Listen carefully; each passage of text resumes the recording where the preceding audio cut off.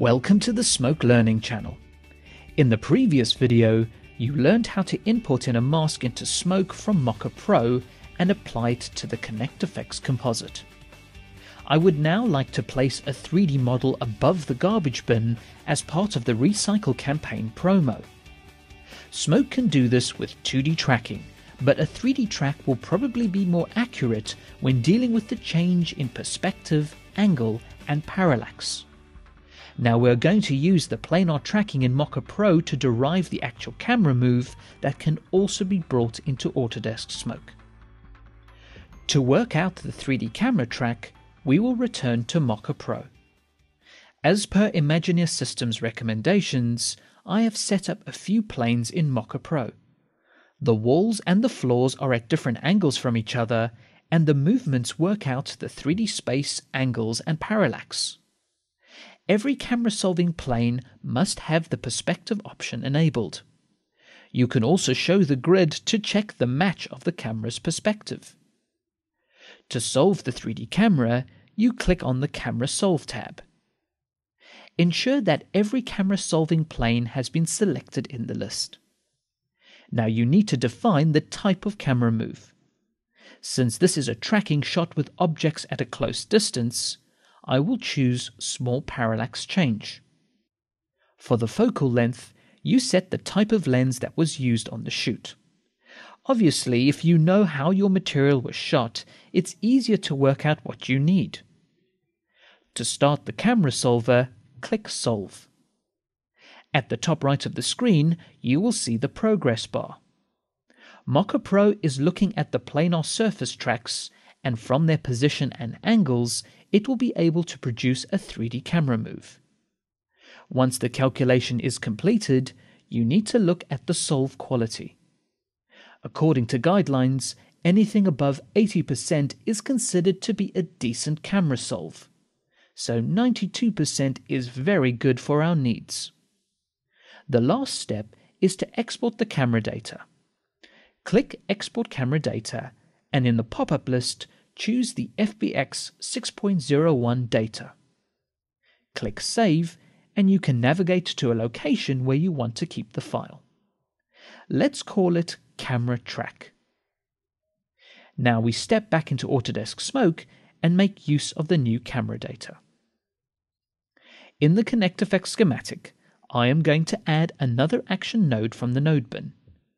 So you will take the composited result from the first action and connect it as the background of the new action node. Double click on the action node to bring up its controls. Hover over the Connect ConnectFX schematic and press the Escape keyboard shortcut. This will bring up the action schematic.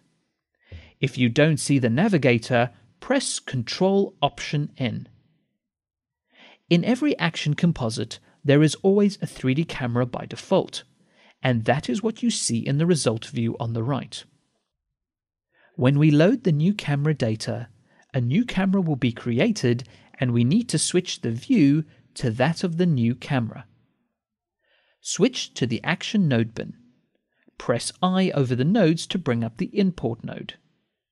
Double click on that node to enter into the import browser. Switch the file format to FBX instead of 3ds. Navigate through the browser to get to your FBX camera file. Before clicking the file, there is one option I would like to highlight. The FBX unit to pixels option controls the scaling of the camera move in the 3D environment. This won't make any difference when looking through the camera as it will still have the correct move, but this option controls the spacing between the objects in 3D space. The higher the value, the further apart the objects are in 3D space.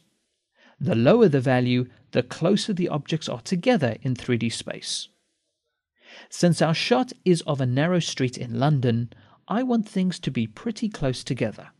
So I'm going to set the value to 0.5. If this doesn't work for you the first time, you need to experiment with this value until you get the setting adequate for your shot. Select the FBX and it will load into action. In the action schematic, you can see that a few nodes have been loaded. Let's first move over to look at the camera nodes. Here is the new FBX camera. Double click on it to bring up the camera controls. Firstly, I'll change the camera result for action to the Mocha Camera Node 1 instead of the default camera. So now we are looking through the imported 3D camera through the result view on the right. The next option that may need adjusting is the far clipping plane of the 3D camera. To understand this correctly, hover over the action schematic and press Shift 4 to switch to the top view. You can hold Command and Option and click and drag the view to zoom out. Temporarily, go to the Media menu and turn the background off using the pop-up button. The background is black and we can now see the camera lines more clearly. I'll also switch back to the Object menu for the camera settings. This line here is the far clipping plane of the camera. Think of it as the end of infinity, if there really was one. The objects that are beyond the far clipping plane are invisible to the camera. The axis objects represent the walls of the building furthest from the camera in the shot. Change the clipping plane to a value of 4000 and you can now see the axis objects appear in the result view. Press the escape shortcut to return to the action schematic view. Switch to the media menu and turn the background on. So all these axis objects representing the tracking planes that came across from Mocha Pro. We can now use these axis objects to lock our 3D models and other images into the shot. Let's bring in our FBX model. As before, go to the Action Node bin and double-click on the Import node. Navigate through the browser to the folder with the FBX model. Hold Option and click on the FBX unit to pixel slider to reset it to the default value of 10. Select the FBX to import it. The model is importing in the center of the 3D composite that is in fact behind this 3D camera. Let's quickly switch to the Action Node Preferences and turn on shading. This will allow the 3D model to be correctly displayed in the composite click the Preferences button to return to the previous menu. Now we want to position this model above the garbage bin, so we are going to use the closest axis object from the 3D track. In the Tools pop-up menu, change the option from Select to Select Points. This means that when you select the axis in the view, you don't accidentally move it. Press Shift M to return back to the regular selection mode. In the action schematic, pan over to the selected axis node.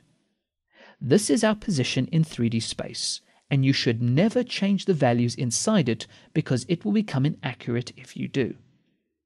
Now connect the position axis object to the axis object of the 3D model. This operation moves the position of the 3D object to the position of the axis object it is connected to. I will stress again this parent axis containing 3D positioning information should never be adjusted as it matches the 3D camera. However, you can use the child axis of the 3D object to move and reposition the object accordingly. So I'll start adjusting the scaling values first. You will notice that the object's angle is a bit strange. This is because there is no current way in Mocha Pro to set correct perspective alignment in 3D space. This means you will have to manually align the angle of the object to match the 3D camera move.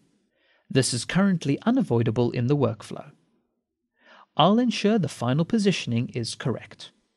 And now if I scrub the time bar, you will see that our 3D model is in its place for all the frames. So in this series, you have learned how to bring 4-point tracking data, masks, and 3D camera tracking data from Mocha Pro into Smoke. To give you a sense of closure with this composite, here is a final variation with additional defocusing and regrain. I hope you've enjoyed the Mocha Pro to Smoke Workflow series. Thank you for watching and please subscribe to the Smoke Learning channel for future videos.